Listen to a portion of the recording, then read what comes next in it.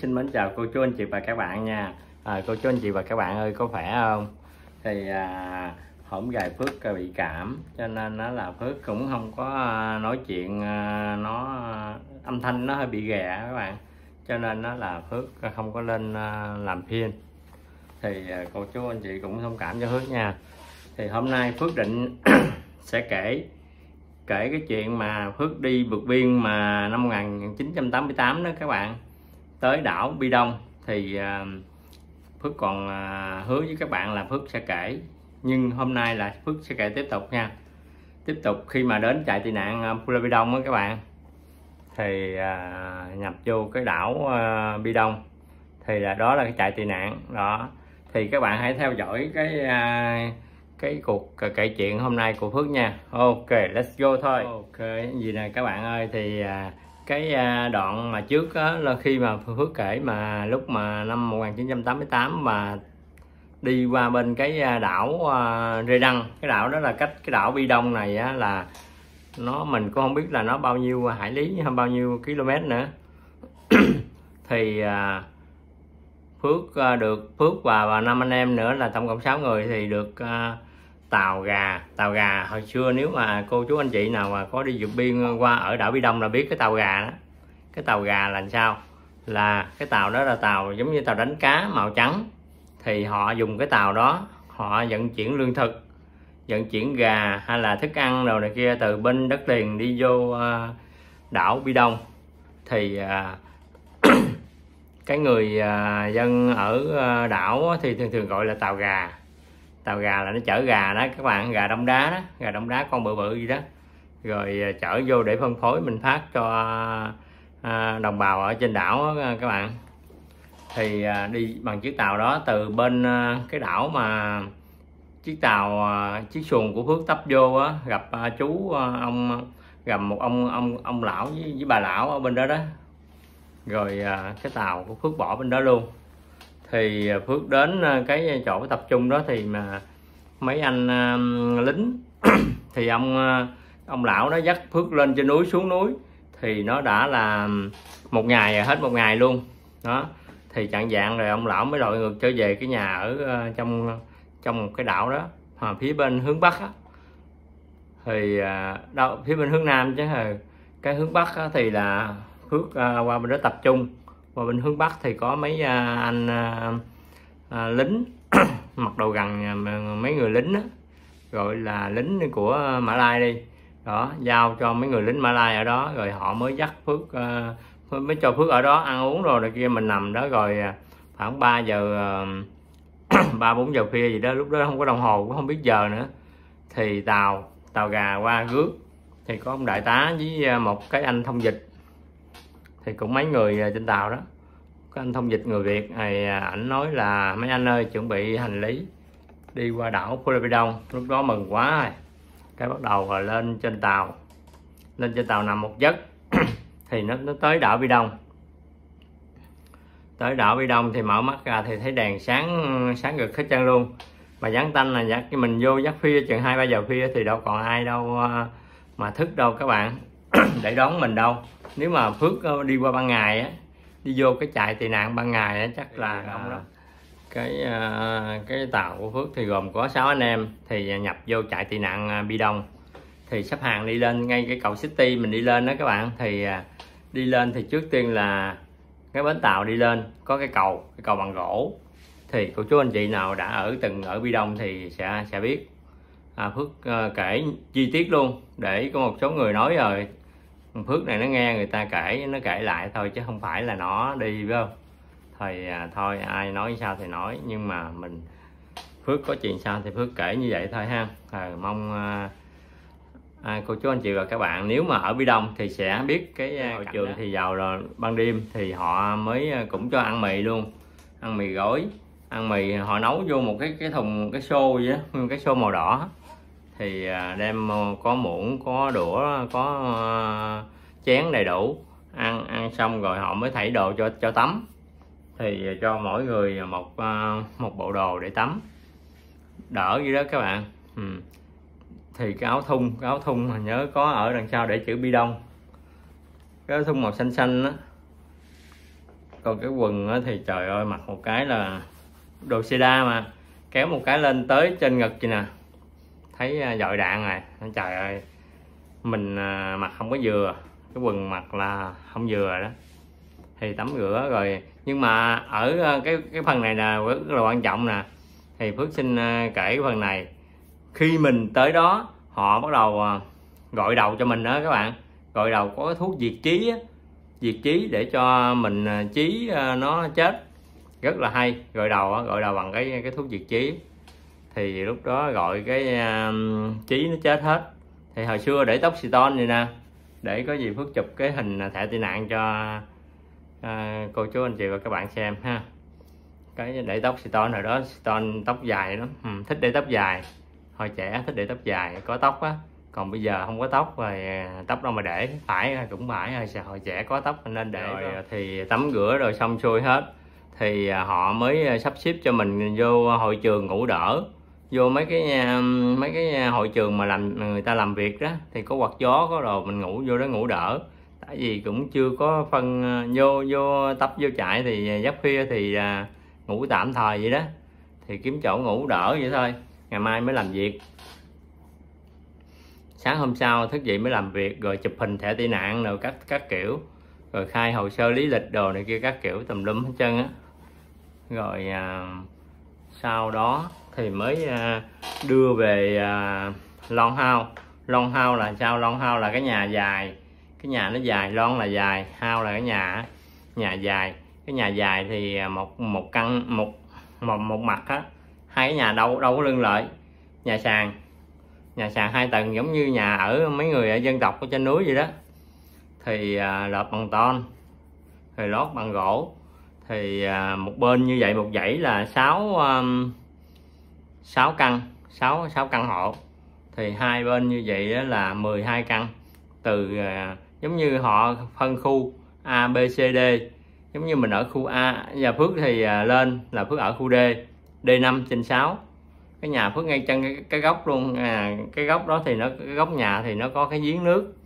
Thì ngay, ngay chân D5 trên 6 thì à, ở đó ở đó thì cũng đông người à nhà Phước lúc ờ, thời điểm đó là năm 1988 Phước vô đó thì ờ, là ngày 30 30 ờ, tháng 3 30 tháng 3 sáng lại là một tây đó mùng 1 tháng 4 một tây tháng 4 một, một tây tháng 4 năm 1988 ở tại Bi Đông.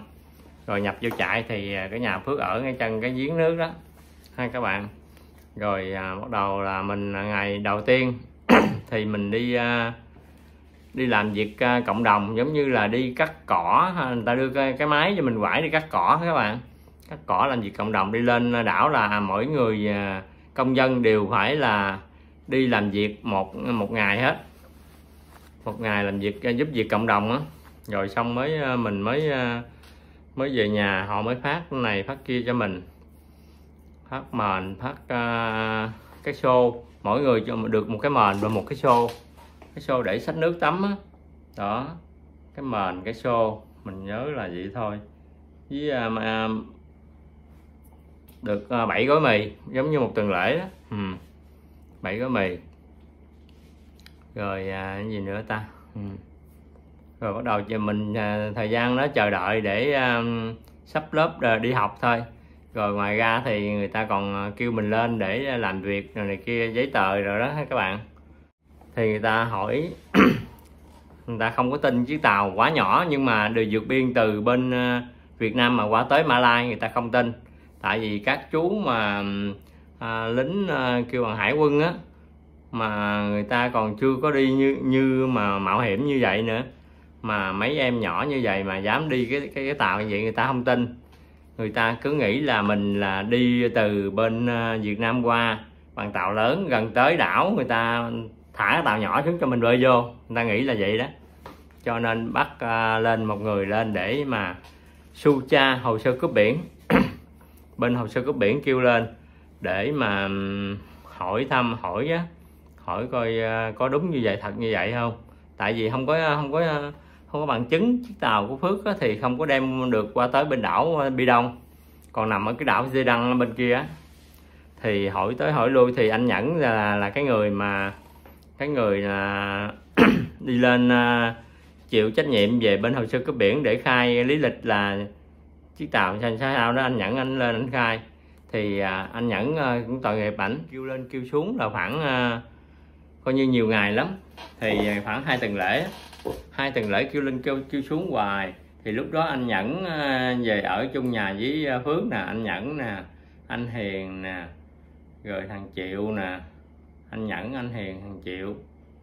Rồi có thằng bình nữa thì nó ở nhà khác. Thằng bình với anh vĩnh thì ở nhà khác. Ừ. anh nhẫn, anh hiền, thằng triệu, phước, bốn bốn người ở chung một nhà. À, à, à, còn lại thì còn lại thì anh Vĩnh với thằng thằng Bình thì ở bên nhà khác. Đó, tại vì một nhà mình ở đông người quá thì nó chặt chội lắm các bạn. Tại vì người ta cũng có người ở rồi. Thì vô ngủ với nhau là chen chúc ngủ uh, sắp lớp sắp lớp gì đó các bạn. Sắp lớp gì đó. Giống, giống như là mình uh, nằm uh, khích khích với nhau để ngủ vậy đó à, bụi bụi dán ở dưới một một bụi ở trên một cái một cái, cái à, từng à, cái gác lửng ở trên. Đó thì cái cuộc sống ở dưới có bếp đúc rồi để mình nấu cơm đồ ăn vậy đó các bạn. Thì à, phước đồ thì thì nấu cơm thì anh em gom lại để đi lãnh đồ ăn rồi gom lại nấu. Thì thường ngày thì mình đi buổi sáng đi đi lãnh đồ ăn một lần và buổi chiều đi lãnh đồ ăn một lần. Thì gạo thì một tuần họ phát một lần cao ủy liên hợp quốc một tuần thì họ phát cho mình một lần gạo. Thì à, một tuần lễ đi lãnh gạo mì gói ha gạo mì gói rồi đường rồi à, đường một ngọt rồi nữa hay gì đó. À, chút chút thôi cũng giống như đủ đủ ăn vậy đó. Nhưng mà gạo thì dư lắm. Gạo lúc nào cũng dư hết trơn á không có thiếu. Gạo thì nói chung là họ cho mình ăn gạo tròn không à nhưng mà dư dư nhiều lắm. Có có tầng mình không có đi đi lãnh luôn mà nó nhiều quá. Thì à, thức ăn thì hàng ngày thì mình đi lãnh là, là giống như là có hai con cá nè hai à, ba ba hai ba cá gì hai ba ngón tay vậy đó. Rồi có bữa thì thịt gà đó rồi dưa hấu dưa leo rồi rau cải rồi này kia cũng có đầy đủ hết vậy đó. Rồi bữa nay thì ăn cá mà ngày mai thì ăn gà rồi đổi qua đổi lại vậy đó các bạn. Rồi xong cái bắt đầu à, mới à, không có tiền lúc đó đâu còn tiền bạc đâu có tiền bạc gì đâu cái tiền Việt Nam đem qua đó coi như là quỷ bỏ hết coi như là số không không có xài được hết còn lại một ít à nhưng mà bỏ hết.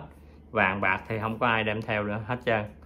Thì coi như là không có à, không có tiền để mua để dán tem mua, mua gửi thư để về Việt Nam.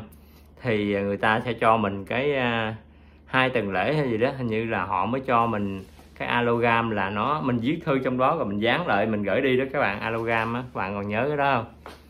Thì cái alogam đó thì hình như hai tuần lễ mới có. Thì à, Phước cũng đi à, hỏi thăm mấy cái chị ở trên lầu á, ở nhà kế bên rồi đó ờ hỏi mình mượn mình mượn một cái alogam để mình viết thư gửi về Việt Nam cho gia đình trước. Rồi sau khi mình nhận được của cái thơ, cái alogam đó của của cao quỹ người ta cho mình đó, thì mình trả lại cho mấy chị đó thì mấy chị đó ok cho mình.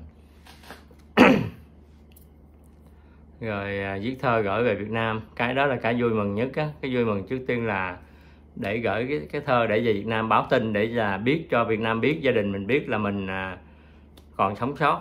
Là như vậy là mình yên tâm rồi. Rồi sau đó bắt đầu mình đi kiếm việc làm để làm các bạn. Ở ờ, đó là khó kiếm việc làm lắm. Tại vì à, đâu có cái gì để làm đâu thì Phước hỏi thăm uh, coi coi làm gì có cách nào để làm kiếm tiền không? Mình qua à, bên đó nói chung là mình cần tiền mà phải cần tiền rất là cần tiền. Không có tiền xài cà phê không có tiền uống một ly 50 xu thì không có tiền uống. Thì cái thời điểm đó là một đô Mỹ đổi được hai đồng rưỡi đô Mã Mã Lai. Đó. Thì một ly uh, cà phê là 50 xu. Ca cao sữa cam sữa gì tất cả là 50 xu hết còn một gói thuốc number one đó thì à, thời điểm đó là một đô la một đô la mã một đô tiền mã. Thì một đô Mỹ đổi được hai đô gửi mã lai. Đó mà lúc đó là rất là khao khát cái tiền tại vì không có cho nên rất là cần tiền. Những cái, cái sinh hoạt thì mình không có tiền để mình mua giống như ghiền thuốc lá không có thuốc hút ha. Rồi bắt đầu đi lên cái à, khối mà vệ sinh phòng dịch đó, để mà làm. Làm xong cái ờ, mình hỏi ờ, thăm coi bây giờ là có cái gì làm kiếm tiền không? Thì mấy ờ, người trên khối vệ sinh phòng dịch họ họ nói với mình là bây giờ em về em bắn em giết chuột, em gặp chuột sao em giết một con chuột, em đem cái đuôi lên thôi. Một cái đuôi chuột đổi được hai gói mì. Ý hai gói hay là một gói mì gì đó. Mình cũng quên rồi, lâu quá quên rồi. Thì đại khái vậy đi, một gói mì hay là hai gói gì đó thì một một đêm làm sao mình kiếm được một mớ đuôi chuột. Thì đuôi chuột khi nào mình giết được con chuột mình mới đem chặt được cái đuôi nó. Thì à, mình mới chế ra cây súng cây súng bắn mũi tên bằng dây thun á. Mình tìm kiếm dây thun rồi kia rồi để kiếm mấy cái lưới B40 để mình à, mình chặt à, làm cái mũi, cái cái cái mũi mũi tên để mình bắn chuột á, để kiếm tiền. Bắn chuột để đi đổi lấy mì gói á các bạn. Mà hình như là hai gói mì đổi được con điếu thuốc à? Vậy đó khổ gì đó, đó. rồi à, bắn để à, lấy à, đổi lấy mì gói. Ừ, lấy mì gói. Rồi cái thì cũng làm chế chế cái nỏ để bắn bắn cung tên để bắn mà chuột các bạn thì à, phước bắn cũng ờ, ok lắm bắn làm à, bắn cũng được. Nhưng mà có nhiều con chuột nó bự quá các bạn ơi nó bự quá. Bắn kéo đầu nó xuyên ngang ngang bụng con chuột rồi nó chạy vô trong ờ, dưới dưới gầm dưới gầm à, gầm nhà dưới dưới, dưới ờ, kêu bằng dưới dưới sàn nhà luôn. Rồi nó chết nó thúi quá rồi mấy bà nó la quá trời la. Nói mấy chửi quá trời mấy thằng này bắn chuột nè. Giờ nó chết nó thúi nè. Tại nó xuyên ngang ngang người chuột cái nó chạy vô trong trong kẹt trong vách, trong hang rồi nó kẹt cái chổng nó chết luôn. Thì nó thúi. Thì mấy bà la quá. Nhưng cái nữa mình thấy này, nó nguy hiểm quá, lỡ mũi tên nó bay ra trúng người ta. Một cái là mình chắc ở tù á. Thì tại tại vì chết người á. Là cái mũi tên đó là người ta nằm võng, có thể nó xuyên nó bay, nó xuyên vô lưng người ta là chết luôn. Đó, nguy hiểm quá. Thôi, mình thấy cái này không không tồn tại. Thôi, bỏ bỏ cái vụ cái nghề bắn chuột này, không không làm nữa. Bỏ. bỏ người bán chuột. Bây giờ đi qua kiếm mấy quán cà phê quán à, phở quán à, bún bò quế rồi đó làm. Thì anh nhẫn anh đi ngoài giao ảnh ảnh có mối. Anh nói tao có quen cái cái cái chị này. Chỉ cần người rửa chén cắt củ hành rồi làm sa tế. Rồi um, mày có muốn đi làm không? Tao tao ra tao giới thiệu cho cho làm cái anh nhẫn ảnh giới thiệu với phước ờ, cái chị đó tên chị hoàng. À, chị hoàng nếu mà chị hoàng có coi video này chị hoàng không biết có nhớ phước không nè chị hoàng nhớ không? Hồi xưa đó chị hoàng đi mỹ. Thì hai vợ chồng chị hoàng thì à, có cái quán bún bún bầu quế đó chỗ mà mấy cây dừa rồi à, đi ra mình lãnh à, đồ à, tiếp liệu á. Supply đồ supply ngoài đó đó ừ, đi lãnh đồ đó mấy gốc dừa rồi mấy cái gian hàng bán bán táo bán nho rồi đó. Rồi tới cái cuối cùng đó là của chị Hoàng có cái sạp chị Hoàng. Thì cái lần đi thẳng ra vậy đó. Cái đầu tiên là của chị Cúc bán uh, gì bơm nho bơm Mỹ rồi này kia hồi đó mình trời thấy thèm lắm một trái 50 xu. Mà đâu có tiền ăn đâu mấy cái bơm Mỹ nó đỏ tươi mà nó bự nè thấy thèm lắm mà đâu có tiền đâu mà ăn. Cái vô đó làm với cho chị Hoàng thì một ngày chỉ cho được một đô mã lai. Rồi ngoài ra chỉ còn cho mình được ờ, một ly cà phê và nửa gói thuốc. Đó nửa, nửa gói thuốc hút. Thì rửa chén với là cắt củ hành làm sa tế xào ờ, sa tế nấu sa tế cho chị á. Thì công việc là cứ vậy thôi làm gì đó. Thì ờ, nói chung là có công việc làm kiếm tiền là là được rồi là mình mình làm mà không có ngại công việc gì hết á. Thì làm thời gian cho chị Hoàng. Thì à, sau đó cái chị Hoàng chị mới đi có clip chị đi Mỹ. Chị đi Mỹ chị mới bán cái tiệm sang tiệm lại cho cái chủ khác. Thì cái chủ khác mình không biết người ta cũng lúc đó cũng dở cũng không có hỏi thăm người ta có cần mình ở đây mình làm hay không. Cũng không có quên cái vụ đó thì à, thôi, bây giờ chị Hoàng chỉ à, nói như vậy chị nói thôi, chị sang à, cái quán lại cho người ta. Rồi mình không có nói chị Hoàng để mà xin lại cho mình làm cái chủ mới ha rồi đó cũng dở. Rồi sau đó cái không còn, không có công việc gì làm, lang thang này cái xong đi qua dán nước đá. Xin qua quán cà phê. Quán cà phê, cái quán ken chỗ cái sân tennis đó các bạn. Cái sân tennis đó cái quán đó, nó để chữ ken thì vô xin vô cái quán đó làm. Lúc đó cái quán nó đang nó đang cần cần người. Nó đang cần người. Ấy phải quán đó. Ừ quán đó đúng rồi. Cái quán đó nó đang cần người. Cái uh, vô đó làm. Cái quán kèn nó có sân tennis á. Vô làm mà gặp uh, nước đá. Vô ngày đầu tiên phước vô làm. Thì làm đó thì nó trả lương hơi à, cao hơn đằng kia. Cao hơn cái quán của chị Hoàng à, bán bún bò Huế thì nó trả lương 3 đồng 3 đồng một ngày. Thì 3 đồng đô mã thì à, đó 3 đồng đô mã một ngày. Thì à, Phước làm à, được 3 ngày. 3 ngày mà dán nước đá hình như là hết hai ngày rồi. Một ngày hay là hai ngày gì đó. Vô ngay chân ngày đầu tiên gặp dán nước đá chứ mà cái cục nước đá của nó khoảng 6 tấc chứ 6 tấc vuông. Chứ nó không dài giống như cục nước đá Việt Nam mình. Nó 6 tấc vuông à trời ơi giác muốn chết luôn nó lạnh mà nó khó giác nó bự nè. Cái tay thì giới không tới. Thì mình uh, có cái bao nữa để cho nó đỡ nó đỡ lạnh đó rồi giá rồi ờ, đi từ dưới dưới chỗ ờ, cái cầu cái cầu Zetti á. Cái cầu đó đi đi vô cái cầu dáng mà mình đi rời đảo hay là đến đảo gì đó là cũng phải đi lên cây cầu đó đó các bạn. Ngay trong bệnh viện đi vô đó. Giá thì tàu nó nước đá nó nó vô đó nó, nó tấp bến đó thì giác từ ở dưới đó giác lên nó, nó chạy vô bãi luôn. Chứ không phải giác từ ở trên cây cầu tới bãi luôn. Tới bãi tới bãi cát mình giác lên giác lên đi vô trong ờ, trong quán. Nếu mà mình mình ruột tay mình gớt xuống thì sợ bể cái cục nước đá người ta đuổi mình. Thì gán tranh thủ để mà lạnh thì lạnh gán ờ, đi siết vô cho tới chỗ. Thì cũng ờ, ba bốn người bốn năm người để giác với mình chứ cũng không phải là một mình mình giác nhưng mà mới vô gặp ờ, ngay cái ngày nước đá nó, nó nhập ha vô trong quán đó, thì mình phải làm. Cho nên thấy cũng hơi đuối quá vất vả. Làm xong rồi còn phải chạy bạn cho tới 11 giờ tới 10 giờ nữa các bạn tới 10 giờ khuya nữa. Đó. Thì ờ, làm quán cà phê thì không có được ăn không có cho mình ăn. Hồi lúc làm ở bún bò bò quế của chị Hoàng thì chị cho ăn ăn ở đó luôn. Ngày thì được ờ, một cử cà phê với được ăn ở đó. Ăn ở đó như ngày hai tô hay gì đó. Còn bên đây quán ờ, cà phê này thì cho uống cà phê thôi chứ không cho ăn. Uống cà phê thì à, dắt trưa là mình ờ, phải chạy về nhà mình ăn cơm. Còn ờ, buổi sáng buổi trưa vậy trong một ngày á mình nói với mấy cái chú mà pha cà phê đó. À, mấy chú cho làm cho mình uống mà mình thèm thì người ta làm cho mình uống. Ngày đầu tiên á mình thèm cà phê quá mà ngày đầu tiên cái bắt đầu mình mình xin à, uống à, được 3 ly, như một ngày 3 ly trời, uống 3 ly luôn, cam sữa, ca cao sữa, gì uống sữa không, đã quá trời luôn. Uống ờ, tới mà mà à, đi cầu luôn á, các bạn đi đi cầu tiêu chảy luôn á. Uống nhiều quá cho nên nó là nó bị cái chất béo nhiều quá, bị tiêu chảy luôn. Đó, cũng không có phải là cách hay đâu rồi à, thì qua một hai ngày sau thì nó à, hết từ từ nó hết. Rồi à, bắt đầu là cái gì nữa? Làm được 3 ngày các bạn. Phước làm được có 3 ngày thôi. 3 ngày uống được 9 ly 9 ly cà phê phê sữa.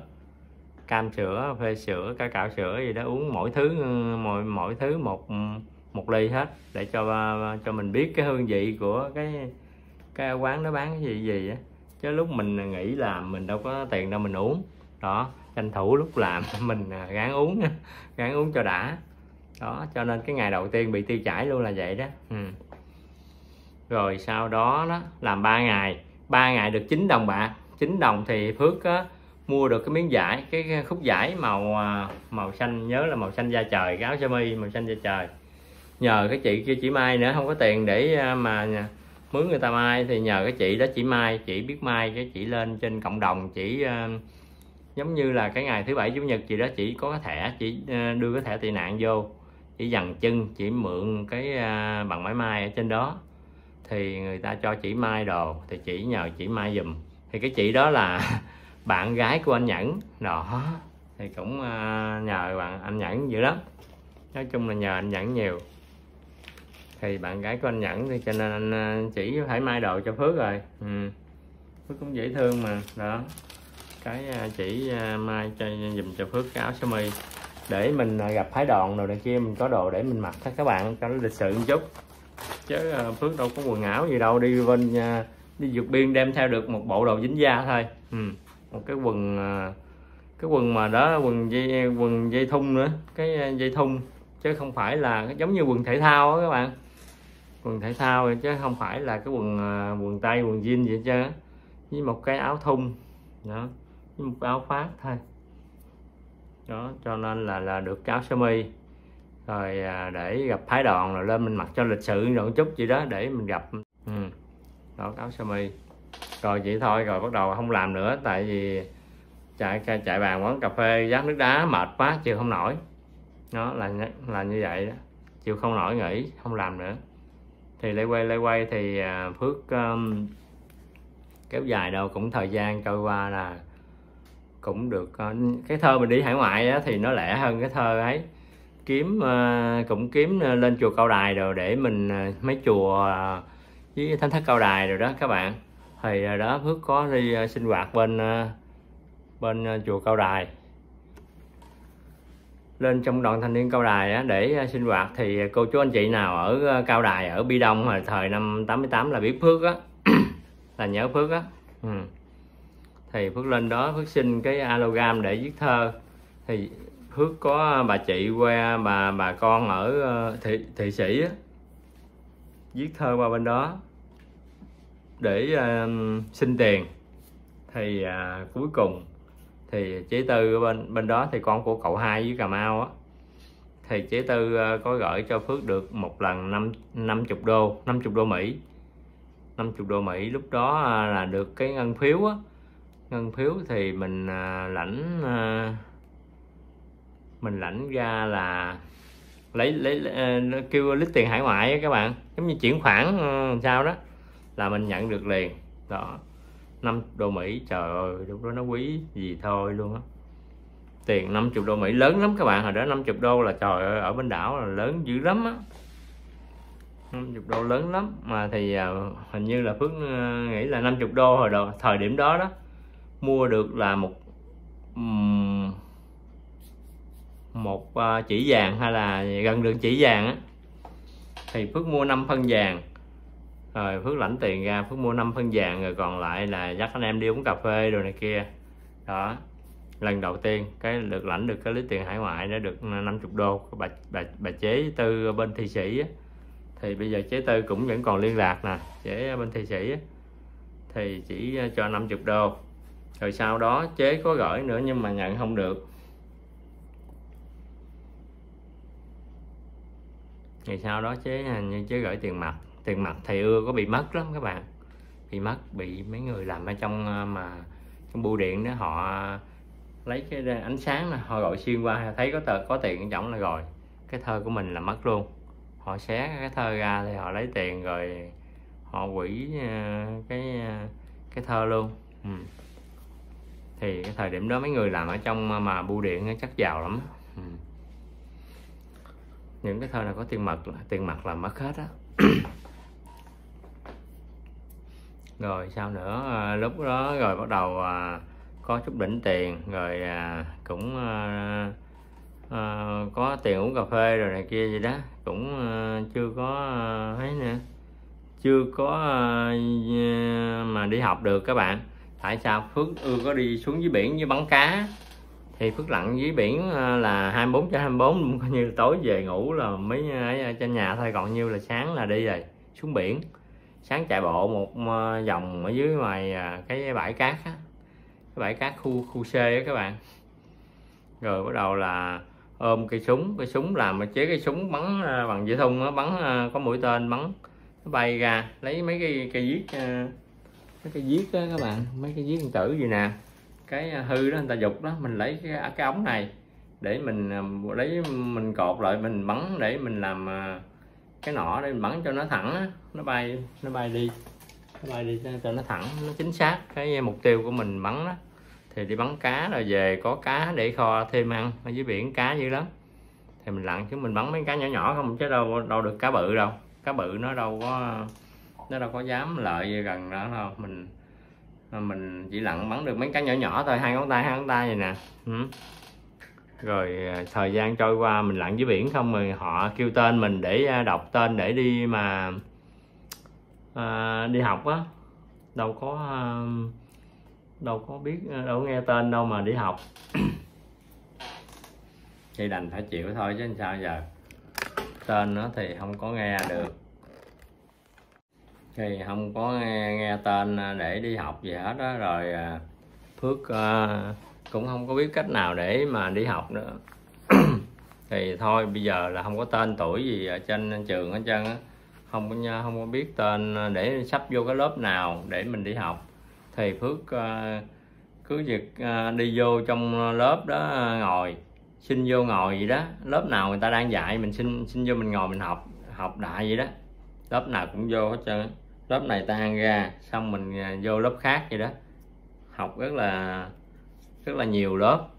Thì à, xin tích chờ à, hỏi mình xin tích chờ mình xin à, tập với à, viết. Thì à, ông thầy ông cho mình à, một cuốn tập với cây viết. Đó ghi được cái gì ghi gì đó. Thì hết lớp này tan bắt đầu tới lớp khác vô thì mình à, xin vô mình học thì người ta welcome rất là welcome. Không có ai đuổi mình hết á. À, cứ việc vô ngồi học đi cưng.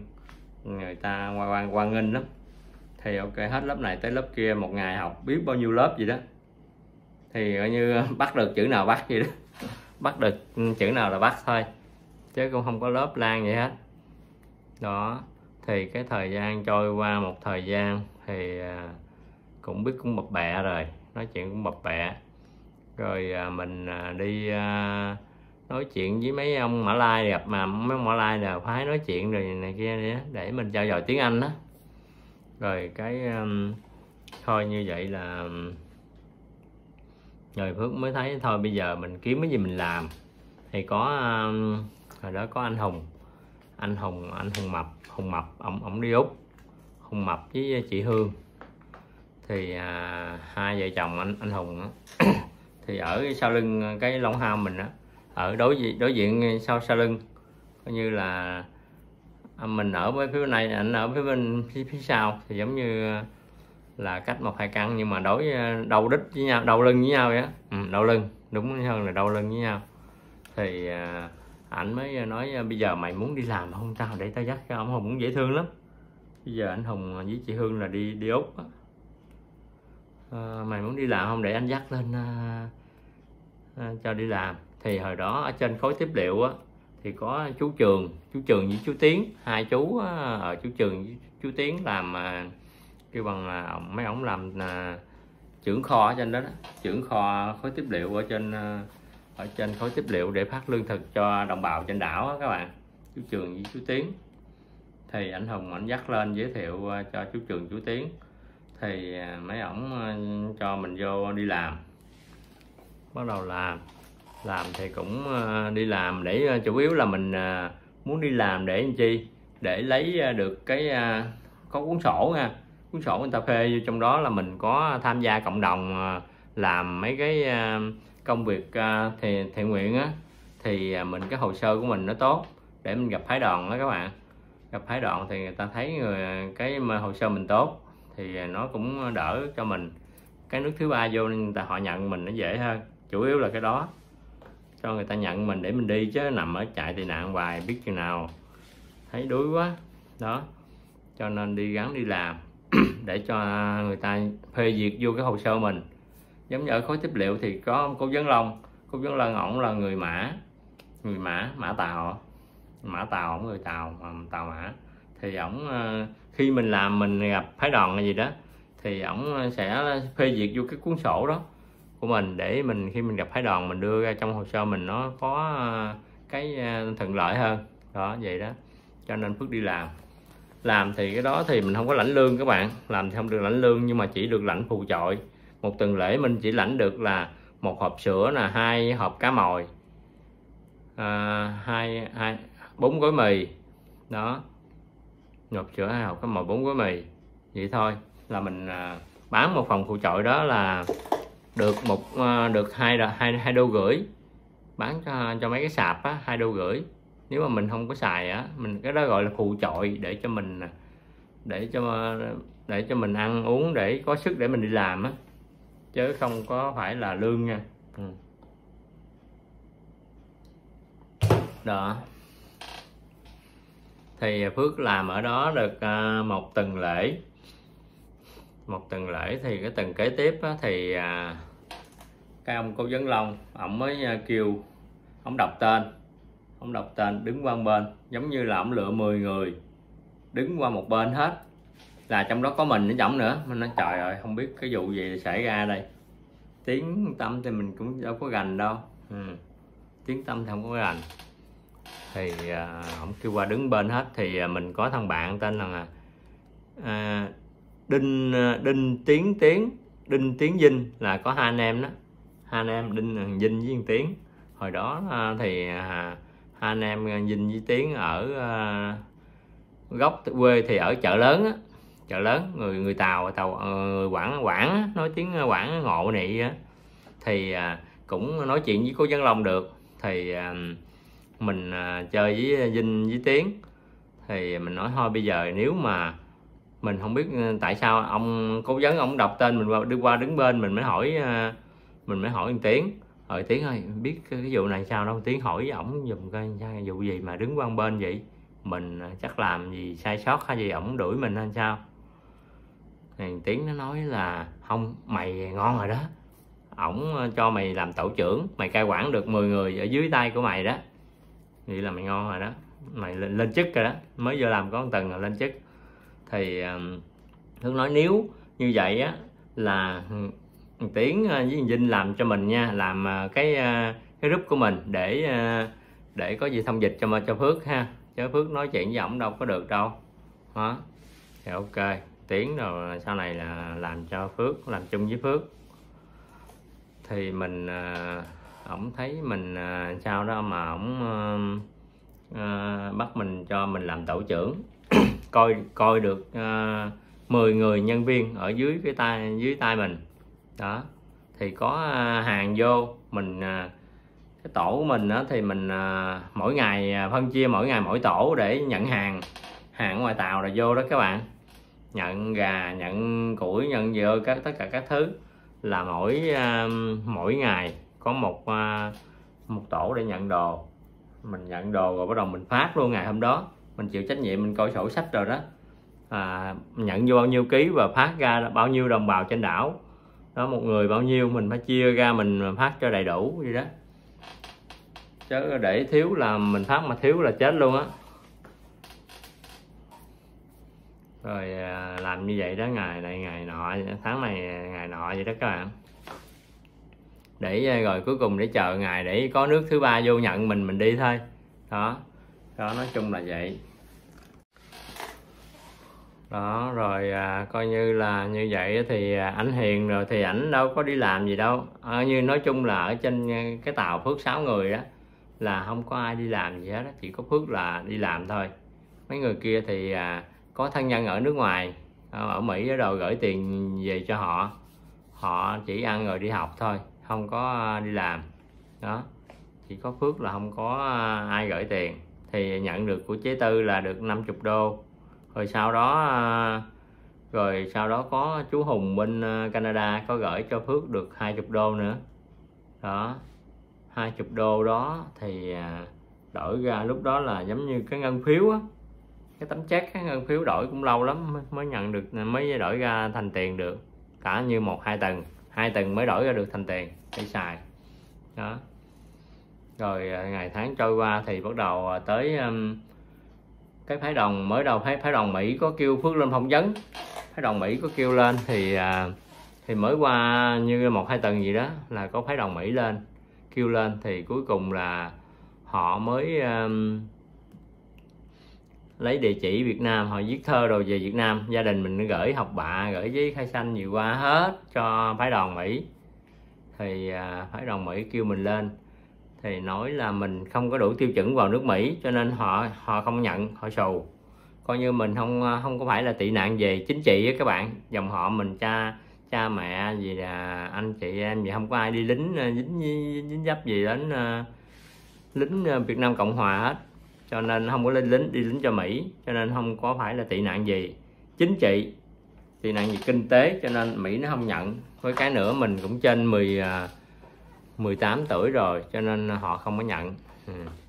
thì à, ở lại đà đợi. Thì à, thời gian mà Phước à, gửi thơ về Việt Nam, thì cái ngày mà Phước lên đảo Phước gửi thơ, rồi tới ngày Phước nhận được thơ là đúng 3 tháng trời đó các bạn, đúng 3 tháng luôn. Đúng 3 tháng được nhận được thơ Việt Nam, mới biết tin tức Việt Nam đã nhận được thơ của mình và hồi âm. 3 tháng trời thì cái ngày đầu tiên, cái ngày mà nhận thơ, trời Phước mừng lắm. Rồi Phước đi ra ngoài tảng đá một mình thôi, xé cái thơ ra đọc đọc cái thơ, trời, lúc đó khóc quá trời khóc luôn rồi. Tại sao biết không? Tại lúc đó mình nghĩ là mình không có thể đi đi về Việt Nam được. Coi như là xa cha, xa mẹ, anh, chị em, dòng họ, bà con gì, tất cả là mình không biết có ngày nào để trở lại. Đó. Rồi lúc đó là biết xa đó. Lúc đó mới biết là mình đã xa. Muốn trở về là không phải là dễ đâu á. Lúc đó khóc quá trời luôn khóc ờ, một buổi luôn. Có một mình à, đi lên trên tảng đá ngồi cặp máy biển á sóng đánh nào nào à, dập vào dập vào vậy đó. Rồi ngồi khóc. Rồi à, vậy đó. Rồi bắt đầu muốn đi về chứ muốn đi về lại Việt Nam. Lúc đầu là muốn đi về lại lại à, ờ, à, kể lại lúc đầu lúc lúc đầu muốn đi về thì Việt Nam lại. Tại vì qua đó khổ quá không có tiền uống cà phê rồi đó thì ở Việt Nam thì lúc nào Phước cũng có à, tiền trong túi cũng uống cà phê. Nhà thì cũng à, gia đình cũng à, cũng khá giả mà. Chứ đông đến nổi đâu dưới quê mà dưới quê chứ gia đình của Phước là hồi đó là cái vùng này chứ cũng khá lắm á cũng nổi tiếng nhất, nhất vùng á. Nói tên cha của Phước là bởi vì Phước đi dài dài mấy cái chợ chợ chuột rồi trên kia Phước quay phim đó. Người ta nói tên ông già Phước là người ta đều biết hết trơn à. Ừ hồi đó là trong ruộng thì làm máy suốt nhà máy trà gạo rồi đó là cha phước có có hết à. Cho nên là phước lớn lên là phước uh, có tiền xài hoài vậy đó nhà bán tiệm tập quá nữa không lúc nào mà không có tiền hết chứ, lúc nào cũng có tiền trong túi hết đó còn không có tiền thì mình cũng có thể mua chịu những cái quán ờ, đi học rồi đó mua mấy mua chịu mấy cái quán rồi bữa nào có tiền trả vậy đó. Không sao hết trơn nói chung là vẫn có tiền muốn ăn thì thì có ăn, muốn uống có uống. Thì qua đảo thấy khổ quá, không có tiền. Nó lúc cái cái cái hai tuần lễ đầu tiên là phước ờ, muốn quay trở về không đó. Mà đâu phải dễ đâu. Quay trở về còn khó, gấp 10 lần khi mà đi nữa. Tại vì sao? Không có phương tiện để mình về. Có mấy chiếc tàu nó tấp vô á. Mình muốn ờ, lấy tàu đó, cướp cái tàu đó đi về. Thì ngặt cái là mình phải đòi hỏi coi bây giờ chiếc tàu từ Việt Nam người ta chạy qua tới đó, người ta người ta tới ờ, đi bi đông đó người ta neo đó thì liệu cái máy nó còn xài được hay không? Là cái thứ nhất ờ, là dầu là nó không có nè. Cái thứ hai nữa cái máy còn xài được hay không? Đó. Nếu mà mình có dầu để mình chạy về thì ờ, vì có tiền mua dầu để chạy về thì đâu có, có cần là phải về đâu. Đó. Cho nên thôi phước thấy thấy chua quá chua lét luôn. Bây giờ muốn đi vượt biên á, thì mà một phần bây giờ muốn về nó khó gấp 10 10 hồi đi vượt biên khó một. Bận về. Bây giờ đi về. Việt Nam lại thì khó gấp 10 lần. Thôi, nghĩ tới nghĩ lui thấy khó quá, bỏ qua luôn. Không không có màng tới vấn đề đó nữa. Mà bỏ qua. Đó, vậy đó các bạn. Thôi, bây giờ kể tiếp cái vụ mà làm ở khối tiếp liệu ha. Làm một thời gian khối tiếp liệu thì ờ, đi kiểm tra anh văn các bạn. Kiểm tra anh văn thì à, ngoài ra phước đi làm tiếp liệu. Ban, ban đêm à, tối phước à, vẫn đi học ôm tập đi, đi học. Ban ngày thì mình đi làm ban đêm đi học. Rồi à, tới người ta kêu lên kiểm tra anh văn. Thi đi, đi thi anh văn á. Thi thi coi trình độ của mình là trình độ cao cỡ nào để họ sẽ sắp xếp cái lớp cho mình học. Thì lúc đó cũng may mắn là Phước vô được cái lớp thợ hàng. Thợ hàng hàng ba rết, hàng hàng dấu, khè dấu đá rồi đó các bạn. Thì nó đưa cho anh Phước vô cái đó, nó trình độ ờ, tiếng Anh của Phước nó nó cao. Nó đưa vô cái lớp đó. Trời, Phước nói trời ơi, trình độ mình đâu có cao đâu. Đưa vô lớp thợ hàng, học muốn chết luôn, chữ nào cũng tra từ điển hết trơn.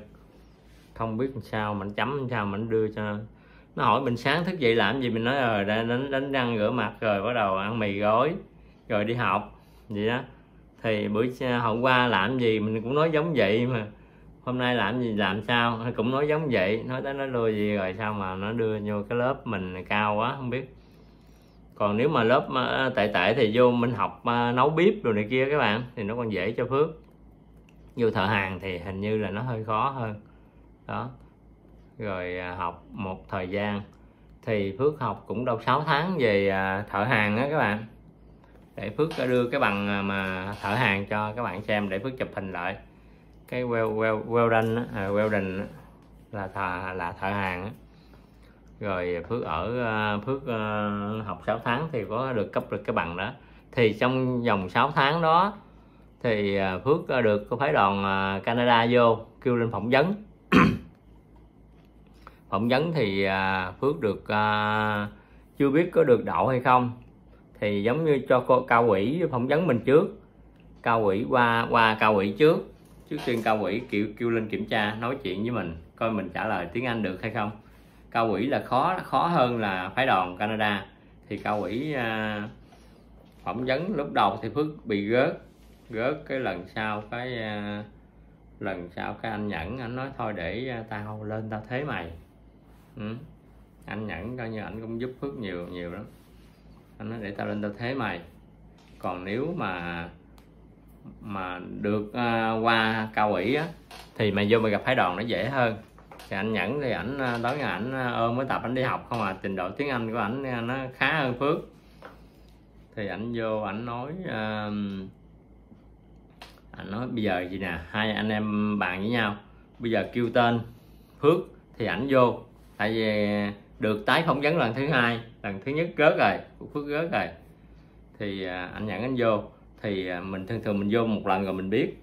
À, bả không có à, hỏi cái thẻ tị nạn. Mà mình sắp xếp với anh nhẫn rồi nếu mà bả có hỏi thẻ tị nạn thì anh nói à, anh bỏ quên ở nhà anh chạy về. Anh chạy về rồi khoảng à, tới ca chiều em vô thì bả đâu nhớ mặt đâu. Đông người quá mà làm sao nhớ được. Nhiều à, nhiều người tị nạn, dân tị nạn đông quá, họ, bà sẽ không nhớ. Đó. Chớ mà biết mình lương lẹo là có thể là xù luôn á. Hai thằng là đeo lên độc dừa là ngồi luôn á. Thì cuối cùng là là được anh anh anh nhẫn lên thì được đậu đậu cái khâu cao quỷ thì à, chỉ à, anh nhẫn thì đậu rồi, còn anh ảnh giúp phước đậu luôn. Thì à, được qua một bên hết rồi. Thì chờ ngày gặp phái đoàn Canada. Đó thì ờ, kêu thứ tự gì đó thì chắc cũng khoảng tuần lễ sau vậy đó gặp được phái đoàn Canada. Gặp phái đoàn Canada thì Phước tự lên đó, Phước tự lên. Bữa đó nhớ là mình mặc áo sơ mi mới đó. Thì có mấy uh, con chim nó ỉa một cái cất trên cái da áo mình nữa nói ờ chim nó ỉa cất là hên đó. Mà hên thiệt vô cái gặp uh, phái đoàn Canada thì cũng hỏi chừng vài câu tiếng Anh à bốn năm câu vậy à. Ừ thì hỏi mình qua đây với ai rồi qua Canada.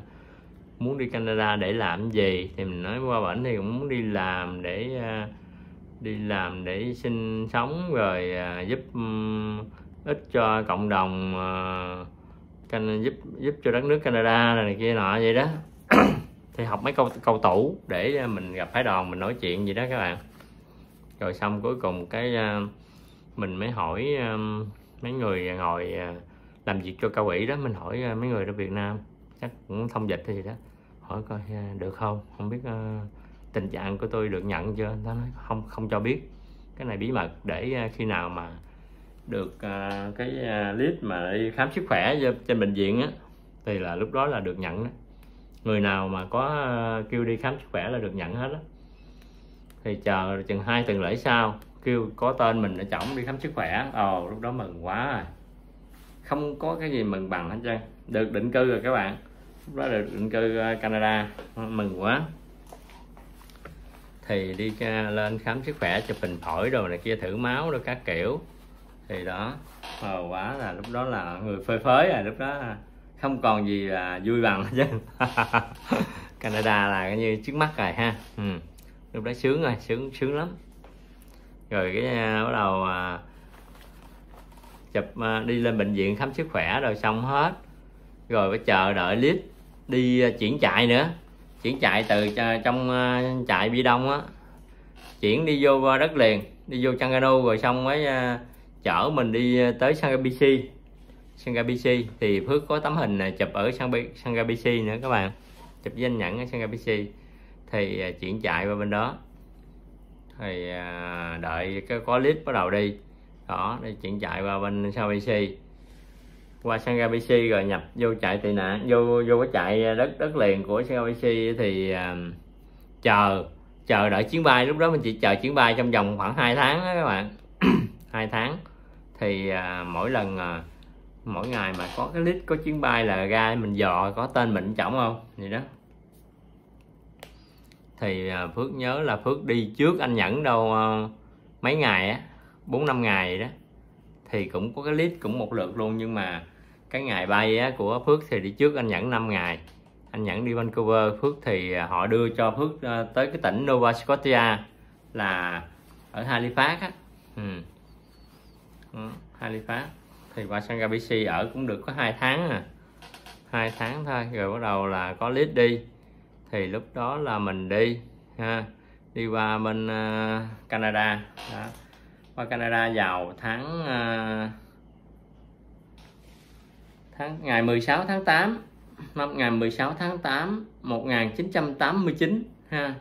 Thì Phước qua canh qua bên Bi Đông là năm 88 mình ở một năm rưỡi. Thì tới tháng uh, ngày 16 tháng 8 năm 1989 bắt đầu mới bay qua tới Canada các bạn. Bay qua tới Canada là đúng cái ngày đó đó.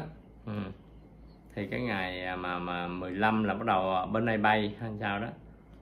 Rồi đi ra à, xe bus nó chở mình đi ra, chuyển chạy ra ngoài sân bay. Mấy giờ mấy giờ đó. Trời, cũng vui lắm. Lúc đó là náo náo nức náo nức cái chân người nó vui lắm. Ừ. vui mừng mà đi qua lên được nước thứ ba rồi, nó vui mừng lắm. Thì lúc đó đi à, đi ra thì phước thì cũng cũng ma lanh lắm. Đi ra đứng coi coi cái ông nào mà đi chung với ờ, với mình. Cái tỉnh mà Halifax Nova Scotia nè thành phố Halifax tỉnh Nova Scotia là hướng đông của Canada các bạn. Thì giờ anh mình giờ giờ dò mình thấy có tên Nguyễn Quốc Việt. Cái mình mới hỏi quay vào sau lưng mình hỏi à, à, anh nào tên Nguyễn Quốc Việt vậy? Ổng đứng sau lưng ổng nói tôi nè. Mắc cười đó ổng nói tôi nè. Cái à, mình mới nói à em cũng đi Canada cũng thành phố Halifax luôn. Chung với anh đó thôi bây giờ anh em mình à, kết nghĩa đi. Rồi kết nghĩa qua bển mình ở chung ha. Đó kết bạn liền. Đó kết bạn danh việt. Thì sau đó là hai anh em à, đi chung máy bay rồi qua bển rồi à, ở chung nhà luôn. Ở chung nhà. Bây giờ còn liên lạc với anh việt nữa nè. Thì có một cái video trước đó à, Phước trước khi về Việt Nam Phước có ghé thăm anh Việt các bạn. Thăm vợ chồng anh Việt ở tại Toronto thì vợ chồng anh Việt thì cũng khá giả mua được mấy căn nhà rồi cho anh ta thuê rồi này kia đó. Mà nhà ở Toronto bây giờ giá nó lên dữ lắm các bạn ơi lên cao lắm. Đó vợ chồng ảnh có hai đứa con gái thì cũng ờ, lớn hết rồi mà chưa ờ, mà hình như có một đứa lấy chồng rồi còn đứa chưa. Ừ. thì chị Ngân á, thì vợ anh Việt á, là chỉ có một cái ờ, một cái tiệm cái shop may quần áo ở tại đường đường đường Win đường Win hay là đường John gì đó. Cũng gần nhà Spadina rồi đó Dublin gì đó ờ, cũng gần đó thì à, nói chung là thôi bây giờ kể tiếp cái vụ mà làm ở khối tiếp liệu ha. Làm một thời gian khối tiếp liệu thì à, thì Phước à, mới là người ta mới đọc tên để cho mình đi đi kiểm tra anh văn các bạn. Kiểm tra anh văn thì à, ngoài ra Phước đi làm tiếp liệu ban, ban đêm à, tối Phước à, vẫn đi học ôm tập đi, đi học. Ban ngày thì mình đi làm ban đêm đi học. Rồi à, tới người ta kêu lên kiểm tra anh văn. Thi đi, đi thi anh văn á. Thi thi coi trình độ của mình là trình độ cao cỡ nào để họ sẽ sắp xếp cái lớp cho mình học. Thì lúc đó cũng may mắn là Phước vô được cái lớp thợ hàng thợ hàng hàng ba rết, hàng hàng dấu, khè dấu đá rồi đó các bạn. Thì à, nó đưa cho anh Phước vô cái đó, nó trình độ à, tiếng Anh của Phước nó nó cao. Nó đưa vô cái lớp đó. Trời, Phước nói, trời ơi, trình độ mình đâu có cao đâu. Đưa vô lớp thợ hàng, học muốn chết luôn, chữ nào cũng tra từ điển hết trơn. Không biết làm sao mình chấm, làm sao mình đưa cho nó hỏi mình sáng thức dậy làm gì, mình nói ờ, rồi đánh đánh răng rửa mặt rồi, bắt đầu ăn mì gói, rồi đi học. Vậy đó thì bữa hôm qua làm gì mình cũng nói giống vậy mà. Hôm nay làm gì, làm sao? Cũng nói giống vậy. Nói tới nó lui gì rồi sao mà nó đưa vô cái lớp mình cao quá, không biết. Còn nếu mà lớp à, tệ tệ thì vô mình học à, nấu bếp rồi này kia các bạn, thì nó còn dễ cho phước. Vô thợ hàng thì hình như là nó hơi khó hơn. Đó. Rồi à, học một thời gian. Thì phước học cũng đâu 6 tháng về thợ hàng á các bạn để phước đưa cái bằng à, mà thở hàng cho các bạn xem để phước chụp hình lại. Cái well well welding à, welding là thợ là thợ hàng rồi phước ở à, phước à, học 6 tháng thì có được cấp được cái bằng đó. Thì trong vòng 6 tháng đó thì phước được phái đoàn canada vô kêu lên phỏng vấn. Phỏng vấn thì phước được chưa biết có được đậu hay không thì giống như cho cô cao quỹ phỏng vấn mình trước cao quỹ qua qua cao quỹ trước. Trước tiên cao quỹ kêu kêu lên kiểm tra nói chuyện với mình coi mình trả lời tiếng anh được hay không. Cao quỹ là khó khó hơn là phái đoàn canada. Thì cao quỹ à, phỏng vấn lúc đầu thì phước bị gớt gớt cái lần sau cái à, lần sau cái anh nhẫn anh nói thôi để à, tao lên tao thế mày. Ừ. anh nhẫn coi như anh cũng giúp phước nhiều nhiều lắm anh nói để tao lên tao thế mày. Còn nếu mà mà được uh, qua cao ủy á thì mày vô mày gặp phái đoàn nó dễ hơn. Thì anh nhẫn thì ảnh à, đó tối ngày ảnh à, ôm mới tập anh đi học không à trình độ tiếng anh của ảnh nó khá hơn phước. Thì ảnh vô ảnh nói uh, ảnh nói bây giờ gì nè hai anh em bạn với nhau. Bây giờ kêu tên phước thì ảnh vô. Tại vì được tái phỏng vấn lần thứ hai lần thứ nhất gớt rồi phước gớt rồi. Thì à, anh nhận anh vô thì à, mình thường thường mình vô một lần rồi mình biết. À, bả không có à, hỏi cái thẻ tị nạn. Mà mình sắp xếp với anh nhẫn rồi nếu mà bà có hỏi thẻ tị nạn thì anh nói à, anh bỏ quên ở nhà anh chạy về. Anh chạy về rồi khoảng à, tới ca chiều em vô thì bà đâu nhớ mặt đâu. Đông người quá mà làm sao nhớ được. Nhiều nhiều người tị nạn, dân tị nạn đông quá, họ bả sẽ không nhớ. Đó. Chớ mà biết mình lương lẹo là có thể là xù luôn á. Hai thằng là đeo lên đọc dừa là ngồi luôn á. Thì cuối cùng là là được anh anh anh nhẫn lên thì được đậu đậu cái khâu cao quỷ thì à, chỉ à, anh nhẫn thì đậu rồi, còn anh ảnh giúp phước đậu luôn. Thì à, được qua một bên hết rồi. Thì chờ ngày gặp phái đoàn Canada. Đó thì ờ, kêu thứ tự gì đó thì chắc cũng khoảng từng lễ sau vậy đó gặp được phái đoàn Canada. Gặp phái đoàn Canada thì Phước tự lên đó, Phước tự lên. Bữa đó nhớ là mình mặc áo sơ mi mới đó. Thì có mấy ờ, con chim nó ỉa một cái cất trên cái da áo mình nữa nói ờ chim nó ỉa cất là hên đó. Mà hên thiệt vô cái gặp uh, phái đoàn Canada thì cũng hỏi chừng vài câu tiếng Anh à bốn năm câu vậy à. Ừ thì hỏi mình qua đây với ai rồi qua Canada. Muốn đi Canada để làm gì? Thì mình nói qua bển thì cũng muốn đi làm để uh, đi làm để sinh sống rồi uh, giúp um, ích cho cộng đồng uh, giúp giúp cho đất nước Canada này kia nọ vậy đó. Thì học mấy câu câu tủ để mình gặp. Rồi phước ở chung với anh Việt là tới khi chị Ngân qua rồi sau đó cái Phước mới dọn đi dọn đi à, thành phố khác. Thì anh Việt với chị Ngân thì cũng dọn đi Toronto luôn. Ừ. đó thì qua tới Canada. Sống. À, các bạn ơi à, Phước xin thông báo với các bạn là vào à, tháng 7 tới đây tháng 7 năm 2024 này Phước có một cái chuyến du lịch qua bên Mã Lai để đi qua bên đảo Bi Đông luôn nha các bạn. Nếu các bạn nào mà có hứng thú đi cùng với Phước á Phước đi với chắc phước đi chuyến này phước đi bốn người. Thì có hai à, hai vợ chồng anh lương anh à, ngô lương ở bên à, ở bên mỹ á, về rồi ảnh mua vé máy bay cho phước đi luôn. Ừ. coi như là ảnh đại thọ hết á. Thì anh rủ phước đi chơi thì à, cô bác anh chị nào có muốn à, đi á, thì mình à, đi bắt đầu đi từ việt nam nha các bạn. Đi từ việt nam mình bay sang bên mà mã lai bên khu Kuala Lumpur đó rồi sau đó mình mới đi ra um, Marichetti. Marichetti để mình đi ra bên đảo Bi Đông để về đó mình à, thăm lại đảo nha các bạn. Thì à, nếu mà bạn nào có à, muốn đi thì à, liên lạc Zalo của Phước nha 033 777 6 777 367 6602 ok để Phước để à, cái số Zalo trên màn hình nha các bạn. Ok, à, cô chú anh chị và các bạn ơi, thì à, Phước xin kết thúc video tại đây. Chúc cô chú anh chị và các bạn luôn vui vẻ nhiều sức khỏe. Nhớ ủng hộ Phước bấm vào ngón tay like, bấm vào ngón tay like nha và chia sẻ. Và nếu mà, mà cô chú anh chị và các bạn nào mà chưa có đăng ký thì nhớ bấm vào nút màu đỏ và bật thông báo nha các bạn để cập nhật video tiếp theo của Phước. Xin kính chào tạm biệt, hẹn gặp lại video tiếp theo. Ok, bye bye.